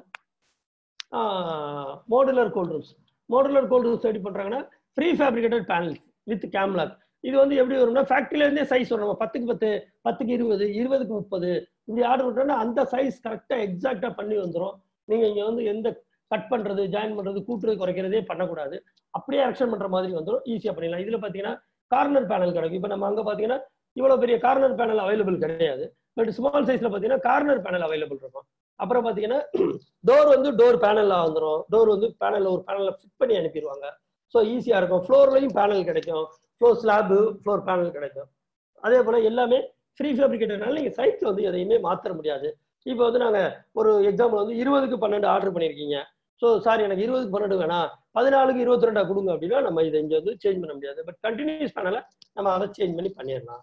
அதே போல இண்டிவிஜுவல் ரெஃப்ரிஜரேஷன் யூனிட்ஸ் இப்போ அங்கே சொன்ன மாதிரி அங்கே ஒரு கம்ப்ரஸர் ரெண்டு கம்ப்ரஸர் வச்சிருப்பாங்க. நிறைய எவாபரேட்டர் கனெக்ட் பண்ணுவாங்க. இங்கே அப்படி கிடையாது. ஒவ்வொரு இண்டிவிஜுவலாக ஒரு இண்டோருக்கு ஒரு அவுட்டோர் அந்த மாதிரி கனெக்ட் பண்ணிப்பாங்க. மோஸ்ட்லி ரெஃப்ரிஜரேஷன் ரெஃப்ரிஜரேட் பார்த்தீங்கன்னா four naught four A one thirty four A இந்த மாதிரி யூஸ் பண்ணுவாங்க. அதில் ஃப்ரோசனாக இருந்தால் எலக்ட்ரிக் டிஃப்ராஸ்ட் யூஸ் பண்ணுவாங்க. ரிவர்ஸ் கேஸ் டிஃப்ராஸ்ட் யூஸ் பண்ணுவாங்க. ஸோ இதுதான் அதோட இன்சுலேஷன் டைப் போட்டா. இந்த கார்னர்ல இருக்கிறது கார்னர் பேனல் அது எல் டைப்ல இருக்கு பாருங்க. அடுத்து வால் பேனல் இதுதான் ஃப்ளோர் பேனல் அதில் டோர் பாட்டிருக்கு பாருங்க அது டோர் பேனல் சீலிங்ல இருக்கிறது சீலிங் பேனல் ஸோ எல்லாத்துக்குமே ஒரு ஒரு கேம் லாக் இருக்கும். நான் அடுத்த ஃபோட்டோ காமி இப்படி வந்து லாக் இருக்கும். ஒரு ஒரு பேனலோட ஒவ்வொரு மீட்டர் ஒரு மீட்டருக்கு ஒரு பேனல் இருக்கும். வால் பேனலில் பாத்தீங்கன்னா இது மாதிரி மூணு லாக் இருக்கும். ஒரு மீட்டருக்கு ஒரு இடத்துல லாக் இருக்கும்.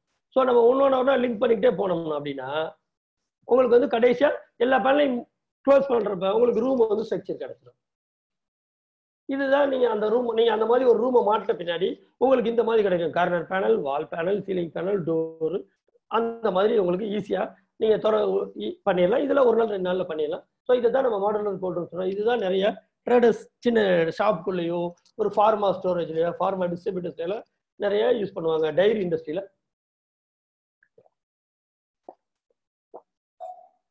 ஸோ இதுதான் மாடுலர் கோல்டு ரூம் ஸோ அடுத்து நம்ம அப்ளிகேஷன் போகிறோம் இந்த கமர்ஷியல் கோல்டு ஸ்டோரேஜோட அப்ளிகேஷன் என்ன ஃபர்ஸ்ட் அது பார்த்தீங்கன்னா கமர்ஷியல் கோல்டு ஸ்டோரேஜில் இந்தியா வந்து ஃப்ரூட்ஸில் வந்து வேர்ல்டில் நம்பர் ஒன் ப்ரொடியூசர் இருக்கிறதுனால நிறைய ஆப்பிள்ஸ் நம்ம ப்ரொடியூசர் பண்ணுறோம் ஸோ அதனால நிறைய ஆப்பிள் ஸ்டோர் பண்ணுறாங்க இந்தியாவில் அப்புறம் பார்த்தீங்கன்னா மேங்கோ ஸ்டோர் பண்ணுறாங்க ஸோ நம்ம ஏரியாவில் பார்த்தீங்கன்னா ரெட் சில்லிஸ் நம்ம ஏரியா ஆந்திரா குண்டூர் தான் பெரிய ரெட் சில்லி கிளஸ்டர் ஸோ அங்கெல்லாம் பார்த்தீங்கன்னா நிறைய நூற்றுக்கணக்கான குண்டூரில் மட்டுமே ஐ திங்க் ஒரு two hundred two two fifty cold storage வந்து நம்ம ரெட் சில்லிஸ் மட்டும் ஸ்டோர் பண்ணுறாங்க அதே போல் பார்த்தீங்கன்னா நார்த் இந்தியா ஃபுல்லாகவே பொட்டேட்டோஸ் பண்ணுவாங்க. நம்ம ஏரியாவில் மேட்டுப்பாளையம் அப்புறம் வந்து பாலக்காடு அப்புறம் ஆந்திரா பக்கத்தில் சித்தூர் இந்த மாதிரி டிஸ்ட்ரிக்ஸில் வந்து பொட்டேட்டோஸ் நிறைய கிடைக்குது. கர்நாடகாலையும் பொட்டேட்டோஸ் கிடைக்குது. ஸோ அங்கெல்லாம் பார்த்தீங்கன்னா பொட்டேட்டோ ஸ்டோரேஜ் இருக்கும். இப்போ கேரட் வந்து நம்ம கம்மியான யூஸ் தான் பண்ணுறோம் ஸோ கேரட்டும் பண்ணுறாங்க அதே போல் இப்போ கோவா வந்து இப்போ கொய்யாப்பழம் வந்து இப்போ நிறைய வைக்கிறதுக்கு இப்போ நிறைய மக்கள் அவேர்னஸ் வந்திருக்கு.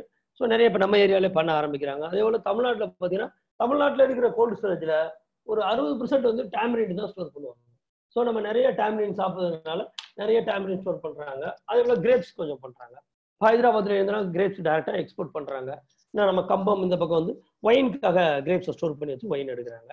இப்போ இது ஒவ்வொன்றுக்கும் ஒரு ஒரு டிஃப்ரெண்ட் டெம்பரேச்சர் அந்த கேரக்டருக்கு தகுந்த மாதிரி அதோட டெம்பரேச்சர் மெயின்டைன் பண்ணி அதோட ஆர்கச் ரிலேட்டிவ் ஹியூமிடிட்டி அதாவது அதோட ஈரப்பதத்தை மெயின்டைன் பண்ணோம்னா அதோட செல்ஃப் எஃபெக்ஷன் பண்ணலாம். ஒரு ஆப்பிள் வெளியில வச்சோம்னா ஒரு வாரம் இருக்கும். ஃப்ரிட்ஜுக்குள்ள வச்சா ஒரு பத்து நாள் பன்னெண்டு நாள் இருக்கும்.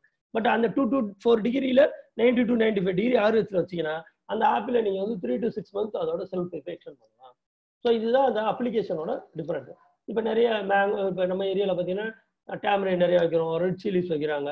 இப்போ டேம்ரைன் இப்போ நான் சொல்ற எல்லா ப்ராடக்ட்டுமே பார்த்தீங்கன்னா எக்ஸப்ட் இப்போ பொட்டேட்டோ கேரட் வந்து இயர்லி டூ கிராப்பாக இருக்கலாம். பட் டாமரிண்டு சில்லிஸு ஆப்பிள் எல்லாமே வந்து இயர்லி ஒன் கிராப் தான். ஸோ ரவுண்ட் இயருக்கு அதை நம்ம சைக்கிள் பண்ணுறதுக்காக நம்ம யூஸ் பண்ணுறோம் அடுத்து பார்த்தீங்கன்னா பெரிய அளவில் அப்ளிகேஷன் யூஸ் பண்ணுறது பார்த்தீங்கன்னா டைரி டைரி இண்டஸ்ட்ரியில் வந்து கோல்டு ஸ்டோரேஜ் இல்லாமல் அவங்க ஒரு டைரி இண்டஸ்ட்ரியை ரன் பண்ணவே முடியாது. அந்த அளவுக்கு கோல்டு ஸ்டோரேஜ் வந்து டைரி இண்டஸ்ட்ரியில் பெரிய வைட்டல் ரோல் பண்ணுது. இப்போ மில்க் மில்க் பவுச் தயார் பண்ணணும்னா ஸ்டோரில் தான் வைக்கிறாங்க. அதுக்கப்புறம் அதை எடுத்துட்டு அதை எடுத்துட்டு போய் டெலிவரி பண்ணுறதுக்கு ரெஃப்ரிஜிரேட்டட் வெஹிக்கிள் யூஸ் பண்ணுறாங்க அப்புறம் பார்த்தீங்கன்னா நாட்டின் மில்க் பவுச்சஸ் இப்போ ஒரு பட்டர் தயார் பண்ணுறாங்க கேர்டு தயார் பண்ணுறாங்க பை ப்ராடக்ட் நிறைய பண்ணுறாங்க ஐஸ்கிரீம் பண்ணுறாங்க பன்னீர் பண்ணுறாங்க ஸோ எல்லாத்துக்குமே டிஃப்ரெண்ட் பட்டர்னா ஒரு ஷார்ட் டேர்ம்னா இப்போ ஒரு டென் டேஸ் வைக்கிறாங்க அப்படின்னா ஒரு ப்ளஸ் டூ டிகிரிலேயே வைக்கிறாங்க. அது இல்லை long term six to nine months five months வைக்கணும் அப்படின்னா எயிட்டீன் மைனஸ் எயிட்டீன் வைக்கிறாங்க. ஐஸ்கிரீம் வந்து minus twenty to twenty five degree வரைக்கும் வைக்கிறாங்க. ஸோ மில்க் பார்த்தீங்கன்னா டூ டு ஃபோர் டிகிரி நார்மலாக டூ டு த்ரீ வீக்ஸ் வரைக்கும் டூ டு த்ரீ டேஸ் வரைக்கும் மில்க் வைக்கிறாங்க. அதுபோல் அந்த சாரி மில்க்லேயே வந்து இன்னொரு டைப் மில்க் இப்போ வருது. அது பார்த்தீங்கன்னா எனக்கு டக்குன்னு வரல. அது டூ டு எயிட் வீக்ஸ் வரைக்கும் அதை வைக்கிறாங்க. ஸ்டெர்லைஸ்டு மில்க் ஸ்டெர்லைஸ்டு மில்க் வந்து டூ டு எயிட் வீக்ஸ் வரைக்கும் வைக்கிறாங்க. அது இப்பயும் அது பர்ச்சேஸில் கிடைக்குது. அதுக்கு அதையும் மாதிரி படிக்கலாங்க அப்புறம் நிறைய ஃபார்மசூட்டிக்கல் வேக்சின்ஸ் இன்சுலின் இப்போ மோஸ்ட்லி பார்த்தீங்கன்னா நிறைய வேக்சின் இன்சுலின் யூஸ் பண்ண ஆரம்பிச்சிட்டாங்க. ஸோ மதுரையிலேயே பார்த்தீங்கன்னா கிட்டத்தட்ட நானே ஒரு ஐம்பது கோல்ட் ரூம் வரைக்கும் பண்ணி கொடுத்துருக்கேன் ஃபார்மா ட்ரேடர்ஸ்க்கு இது போக ஃபார்மா ஹப் இருக்கு. சிஎன்எஃப் ஏஜென்ட் டிஸ்ட்ரிபியூட்டர் இருக்காங்க. அப்புறம் ஃபார்மா மேனுஃபேக்சரர்ஸ் இருக்காங்க. அவங்களுக்குலாம் தேவைப்படுது. ஸோ அந்த மாதிரி கோல்ட் ரூம் இண்டஸ்ட்ரியில் ஃபார்மா இண்டஸ்ட்ரியில் கோல்ட் ரூம் யூஸ் பண்ணுறாங்க அப்புறம் பார்த்தீங்கன்னா போலியோ வேக் இப்போ நான் சொன்ன போலியோ ஃப்ரீ இந்தியா அது மாதிரி அதுக்கான வேக்சின் எல்லாமே மைனஸ் டுவெண்ட்டியில் ஸ்டோர் பண்ணுறாங்க ஸோ அதுவும் நான் பண்ணி கொடுத்துருக்கேன். கவர்மெண்ட்டில் மட்டும்தான் அந்த ஸ்டோர் யூஸ் பண்ணுறாங்க மோஸ்ட்லி அந்த சீசனுக்காக அதோட வெளியிலேயும் கிடைக்குது. கவர்மெண்ட்ல யூஸ் பண்றது இந்த சவுத்ல பண்ற எல்லாமே நம்ம நம்ம பண்ணிருக்கோம். அதோட blood bank storage blood bank storage பார்த்தீங்கன்னா பிளட் நார்மலா பிளட் ஸ்டோர் பண்றாங்க. இப்போ இந்த கொரோனா கூட வந்து பிளாஸ்மா எடுத்து யூஸ் பண்ணலான்றாங்க. ஸோ அந்த மாதிரி பிளாஸ்மா எடுத்த அப்புறம் பிளாஸ்மாவோட கேரக்டருக்கு தகுந்த மாதிரி டெம்பரேச்சர் டிசைட் பண்றாங்க. Up to minus thirty degree வரைக்கும் நானே பண்ணி கொடுத்துருக்கேன் பிளட் பேங்க்குக்கு ஸோ அந்த மாதிரி நிறைய கோல்ட் யூஸ் பண்றாங்க. அப்புறம் ஃபுட் இண்டஸ்ட்ரி ஃப்ரோசன் ஃபுட் இண்டஸ்ட்ரின்னு பார்த்தீங்கன்னா ஃப்ரோசன் வெஜிடபிள்ஸ் இப்போ நிறைய வர ஆரம்பிச்சிருச்சு. ரெடி டு குக் இது வர ஆரம்பிச்சிருச்சு. ஸோ இப்போ பார்த்தீங்கன்னா எக்ஸாம்பிள் நேற்று டிவியில் சொல்கிறாங்க தூத்துக்குடி பக்கத்தில் நிறைய முருங்கைக்காய் வந்து நிறைய வேஸ்ட் ஆகுதுன்றாங்க. நிறைய பக்கம் பார்த்தீங்கன்னா அக்ரி கமோடிட்டி மீன் வெஜிடபிள்ஸ் வந்து நிறைய வேஸ்ட் ஆகுது. நிறைய வேஸ்ட் ஆகுறாங்க. இப்போ சீசன் மேங்கோ சீசனில் கொரோனா வந்ததுனால மேங்கோ வந்து நம்ம வந்து சரியாக யூஸ் பண்ண முடியலை. நிறைய வேஸ்ட் ஆகுதுன்றாங்க. ஸோ அங்கேயெல்லாம் இந்த ஃப்ரோசன் வெஜிடபிள் ஃப்ரோசன் ஃப்ரூட்ஸை வந்து ஃப்ரோசன் மெத்தட் இருந்து அதுக்கான டெக்னாலஜி அவங்ககிட்ட இருந்ததுன்னா அதை அவங்க கண்டிப்பாக ஸ்டோர் பண்ணலாம். நீங்கள் வந்து முருங்கைக்காயை கட் கட் வெஜிடபிள்ஸ் கட் பண்ணி அதை வந்து ஃப்ரோசன் பண்ணி பாக்கெட் பண்ணி மைனஸ் டுவெண்ட்டி ஸ்டோரில் வச்சுக்கிட்டோம்னா நம்ம எப்போ வேணாலும் அதை எடுத்து யூஸ் பண்ணிக்கலாம். ஸோ பட் இப்போ முருங்கைக்காயெல்லாம் பார்த்தீங்கன்னா என்னடா அதில் என்ன ப்ராஃபிட் கிடைக்க போகுதுன்னு நம்ம நினைப்போம். பட் இப்போ ten rupees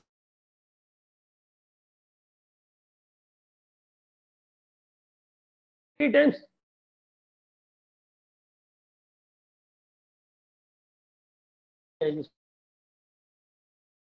fishing இண்டஸ்ட்ரின்றது வந்து நம்ம இல்லாம ஒரு refrigeration cold room blast freezer எல்லாமே அவங்க அந்த மாதிரி ஃபிஷிங்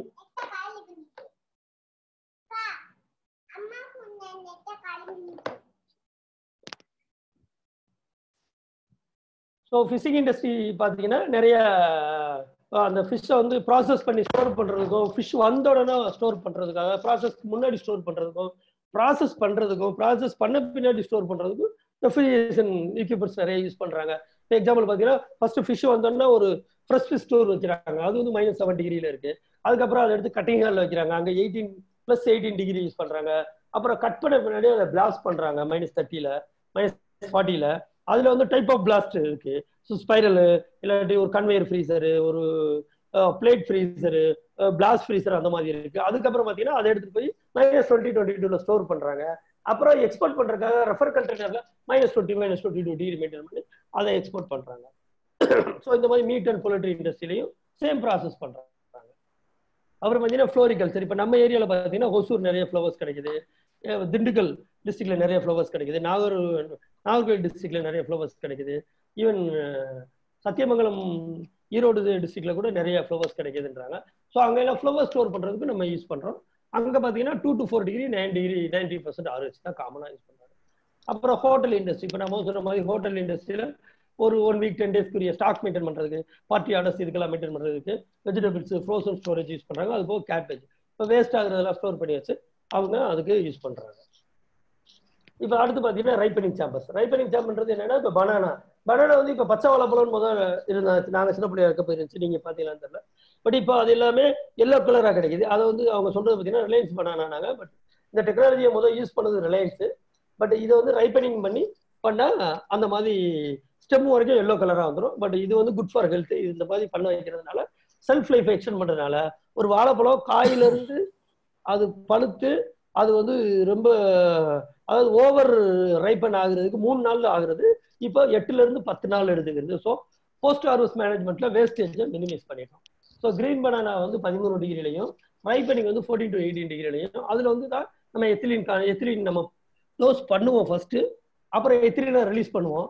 CO2 லெவலில் அதில் மெயின்டைன் பண்ணுவோம். ஸோ இதனால இந்த ரைப்பனிங் ப்ராசஸ் நடக்குது. இப்போ அடுத்து பார்த்தீங்கன்னா இதுதான் வந்து அப்ளிகேஷன் இப்போ அப்ளிகேஷன் ரிவ்யூ பார்த்துருமா அப்ளிகேஷன் பார்த்தீங்கன்னா கமர்ஷியல் ஸ்டோரில் பார்த்தீங்கன்னா புளி வத்தல் உருளைக்கிழங்கு இதுதான் மெயினான commodity apple red chilli potatoes tamarind இது மெயின் நாலு கமோடிட்டி பார்த்தீங்கன்னா ஒவ்வொன்றும் இந்தியாவில் பார்த்தீங்கன்னா லட்சக்கணக்கான டன் வந்து ஸ்டோர் பண்ணி வச்சிருப்பாங்க. இதுக்கு அடுத்து பார்த்தீங்கன்னா நம்ம கிரேப்ஸ் அந்த மாதிரி ஐட்டம் கிரேப் கேரட்டு மேங்கோஸ் அந்த மாதிரி ஐட்டம்ஸ் பண்றாங்க. நிறைய பண்றாங்க. எல்லா ப்ராடக்ட்டும் மோஸ்ட்லி ஸ்டோர் சார் இன்னும் டென் மினிட்ஸ் தான் சார் இருக்கு. இந்த அவ்வளவுதான் சார். கொஞ்சம் ஃபாஸ்ட் சார். ஓகே சார் இப்போ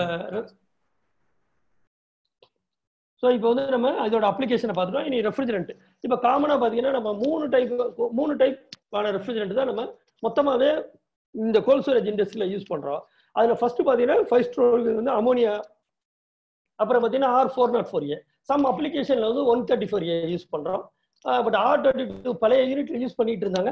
ஸோ இப்போ வந்து மோட்ரோ ப்ரோட்டோக்காலுக்கு அப்புறம் நம்ம ஆர் டுவெண்ட்டி டூ மினிமைஸ் பண்ணிட்டோம். பழைய சிஸ்டம்ல இன்னும் யூஸ் பண்ணிட்டு இருக்காங்க. இது ப்ராப்பர்ட்டி ஆஃப் அமோனியான்னு பார்த்தீங்கன்னா அமோனியா வந்து ஒரு கிரீன் கேஸ் வெறும் ரொம்ப நேச்சுரல் ரெஃப்ரிஜரண்ட் அதை வந்து வேர்ல்டு வைடாக ஃபியூச்சர் ரெஃப்ரிஜரண்ட் அப்படின்னு அனௌன்ஸ் பண்ணியிருக்காங்க இன் ஃபியூச்சரில் நிறைய அமோனியா யூஸ் பண்ண போகிறாங்க பட் ஆனால் மக்கள் மத்தியில் மீன் இண்டஸ்ட்ரியில வந்து ஒரு சின்ன பயம் இருக்குது அமோனியா லீக் ஆயிரும். அமோனியானா ரொம்ப பட் அப்படியெல்லாம் இல்லாமல் நல்ல பிளான்ட் பண்ணுறது இப்போ நாங்களாம் நிறைய பிளான் டிசைன் பண்ணி கரெக்ஷன் பண்ணி கொடுக்குறோம். அந்த மாதிரி ப்ராப்ளம் இல்லை. அதோட அமோனியாவோட ரெஃப்ரிஜரேஷன் சிம்பிள் பார்த்தீங்கன்னா R seven one seven so இது வந்து பியூர்லி நேச்சுரல் ரெஃப்ரிஜரண்ட் ஏன் அப்படி சொல்றோம் அப்படின்னா இதுதான் வந்து zero ODP ozone depletion potential இது வந்து ஜீரோ அதே போல குளோபல் வார்மிங் பொட்டன்ஷியலும் ஜீரோ தான். லெஸ் தென் ஒன்னுன்றத விட அதை ஜீரோன்னு தான் மென்ஷன் பண்றாங்க. பட் ஒரு சில இடங்களில் லெஸ் தென் ஒன் அப்படின்னு போடுறாங்க. ஸோ அதுக்காக தான் நான் உங்களுக்கு இதை மென்ஷன் பண்ணேன். அதுவும் ஜீரோ தான். ஸோ வேர்ல்டுல யூஸ் பண்ணுற ரெஃப்ரிஜரண்ட்ல இது ரெண்டுமே ஜீரோ இருக்கிறது. இந்த ஆர் செவன் ஒன் செவன் மட்டும்தான். இது கிட்டத்தட்ட எயிட்டீன் ஃபிஃப்டில இருந்து நம்ம இந்த ரெஃப்ரிஜரண்ட் யூஸ் பண்றோம். இது வரைக்கும் ஃபேஸ் அவுட்டே ஆகாத ஒரு ரெஃப்ரிஜரண்ட் இது. இதுக்கு இதுக்கு முன்னாடி நூற்றுக்கணக்கான ரெஃப்ரிஜரண்ட் வந்து வந்து வந்து ஃபேஸ் அவுட் ஆகி நம்ம அதை வந்து டெவலப் பண்ணி டெவலப் பண்ணி கொண்டு வந்துட்டோம்.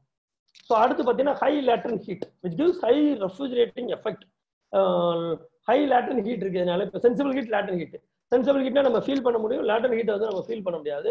ஒரு ஸ்டேஜ்க்கு அப்புறம் அந்த லேட்ரன் ஹீட்டை நம்ம வந்து ஃபீல் பண்ண முடியாது.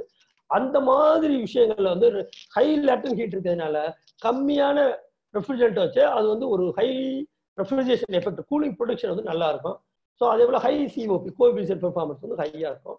நிறைய வைலி நிறைய கிடைக்குது. காஸ்ட் பார்த்தீங்கன்னா நம்ம சிந்தட்டிக் ரெஃப்ரிஜரண்ட்டோட கம்பேர் பண்றப்ப ஒரு பத்துல ஒரு மடங்கு தான் இருக்கும். அது அறுநூறுவா தான் இது அறுபது ரூபா தான் இருக்கும்.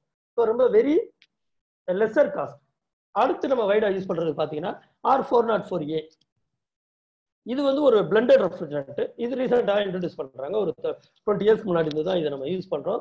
இது ஆல்ரேட் ஆஃப் ஆர் டுவெண்ட்டி டூ அப்படின்னு கூட வச்சுக்கலாம். R twenty two phase out பண்ணுறப்ப நமக்கு இந்த மாதிரி ஃபோர் நாட் ஃபோர் நமக்கு இன்ட்ரடியூஸ் பண்ணுறாங்க இது வந்து R four naught four A வந்து ஒரு பிளண்டட் ரெஃப்ரிஜரண்ட் என்ன பிளண்ட் பண்ணியிருக்காங்க அப்படின்னு பார்த்தீங்கன்னா R one twenty five R one thirty four A and R one third R one forty three A மூணும் எப்படி பர்சன்டேஜ் பண்ணியிருக்காங்கன்னா forty four percent of R one twenty five fifty two percent of R one forty three and one third four percent of one thirty four A இதோட blend தான் வந்து இது. இந்த பிளண்ட்ன்றதுல ஒரு பெரிய ஃபீச்சர் இருந்தாலும் பிளண்ட் ரெஃப்ரிஜரண்ட் யூஸ் பண்றதுல ரொம்ப நம்ம கேர்ஃபுல்லா இருக்கணும். அது வந்து நீங்க ஃபியூச்சர்ல அந்த ரெஃப்ரிஜரண்ட் எப்படி யூஸ் பண்றது கிளாஸ் வரப்ப நான் சொல்றேன். ஸோ பிளண்டை யூஸ் பண்றப்ப ரொம்ப கேர்ஃபுல்லா யூஸ் பண்ணணும். இல்லாட்டி அந்த ரெஃப்ரிஜரேட்டரோட கேரக்டரே மாற ஆரம்பிச்சு உங்களுக்கு சிஸ்டம் வந்து மால் ஃபங்க்ஷன் ஆகும். இது பாத்தீங்கன்னா ஓடிபி வந்து ஜீரோ ஜிடபிள்யூபி வந்து three nine four three AR ஃபைவ்ன்ற group குரூப்ல கொடுக்குறாங்க. இது வந்து த்ரீ நைன் ஃபோர் த்ரீ ஓடிபின்றது நம்ம ஃபர்ஸ்ட் பாத்தீங்கன்னா ஒரு பீரியட் வரைக்கும் நம்ம ஓடிபியை ஜீரோ பண்றதை நோக்கி டிராவல் பண்ணோம். ஓசோன்ல ஓட்ட விழுகுது ஓசோன்ல ஓட்ட விழுகுது. ஓடிபியை மினிமைஸ் பண்ணணும் ஜீரோ எடுத்தோம். இப்போ அதுக்கப்புறம் குளோபல் வார்மிங் எடுத்திருக்கோம். ஸோ மேபி குளோபல் வார்மிங்கையும் நம்ம ஜீரோ நோக்கி போய்கிட்டு இருக்கோம். இதோட critical temperature seventy two degree வரைக்கும் நம்ம யூஸ் பண்ணலாம். ஸோ அதனால நம்ம இந்தியன் கண்டிஷனுக்கு யூஸ் பண்றதுக்கு ஈஸியா இருக்கு. ஸோ அடுத்து யூஸ் பண்றது பார்த்தீங்கன்னா one thirty four A tetrafluoroethane இதான் வந்து ஒன் தேர்ட்டி ஃபோர் ஏ இது சிங்கிள் ரெஃப்ரிஜரண்ட் இது வந்து ஆல்டர்னேட்டா வந்து R twenty two R twelve R five hundred இது மூணுக்கான ஆல்டர்னேட்டா இருக்கு. இப்போ இந்த ஃபோர் நாட் ஃபோர் பார்த்தீங்கன்னா நிறைய ஃப்ரீசர் ரூம்ல யூஸ் பண்றோம். சில்லர் ரூம்லயும் யூஸ் பண்றோம். ஃப்ரீசர் ரூம்ல கம்பல்சரியா ஃபோர் நாட் ஃபோர் யூஸ் பண்றோம். சில்லர் ரூம்ல அப்ளிகேஷன் தகுந்த மாதிரி மீடியம் சில்லர் லோ டெம்பரேச்சர் சில்லர்னா டூ டிகிரி இல்லை மைனஸ் ஃபைவ் டிகிரிக்கெல்லாம் நம்ம இதை யூஸ் பண்றோம். ஸோ ஆனால் அதே வந்து பார்த்தீங்கன்னா ஒரு ripening seventeen degree eighteen degree ஒரு ப்ராசஸிங் ஹால் அப்போ வர்றப்ப அதே சிஸ்டம்ல நம்ம one thirty four A use பண்றோம். இது ஏன்னா இதோட டெம்பரேச்சர் லோ ப்ரெஷர் டெம்பரேச்சர் இப்போ அது பார்த்தீங்கன்னா எயிட்டீன் டிகிரியில் யூஸ் பண்ணுறப்ப டிஸ்சார்ஜ் ப்ரெஷர் ரொம்ப ஹை ஆகி நம்மளோட system efficiency குறையிறனால one thirty four A use பண்ணுறோம் ஸோ இந்த மூணு ரெஃப்ரிஜரேட் தான் நிறைய யூஸ் பண்ணுறோம் அதுக்கப்புறமா சின்ன சின்னதாக ஒன்று ஒரு சில ரெஃப்ரிஜரேட் யூஸ் பண்ணுற ரொம்ப கம்மியான பர்சன்டேஜில் ஐசோடோப்ஸ்லாம் யூஸ் பண்ணுறாங்க பட் அதெல்லாம் பெரிய பர்சன்டேஜாக இல்லை. So seven one seven one thirty four A one four naught four A தான் இப்போ யூஸ் பண்ணுறாங்க வேற எது ஏதாவது டவுட்ஸ் இருந்தால் கேளுங்க. சார்?